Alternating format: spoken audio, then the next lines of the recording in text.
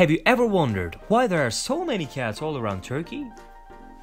You can see cat houses in the streets. You can see water and food bowl for street animals all around Turkey. So, why people in Turkey feed stray animals? Well, it is a historical thing.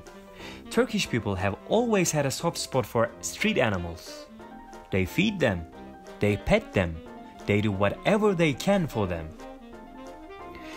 There are two main reasons for cat-loving nature of the Turkish people.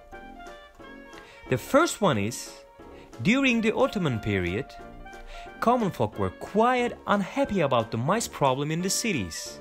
To avoid them, they took cats as pet animals. They feed them so that they can deal with the mice problem. Since those times, Turkish people loved and adored cats. This is quite common theory. The second one is because of the Islam religion. Prophet Muhammad loved cats. Turkish people are looking up for their prophets as a Muslim majority country and thus cats are really loved in here. Whatever the reason might be, there is a certain fact that in Turkey, cats are the kings and the queens of the streets. So what about our channel? Street Meow is a channel that helps street cats. We are a couple living in Turkey who loves and adores cats.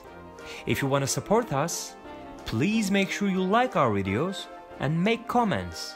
And be sure to subscribe to our channel. Thanks for watching.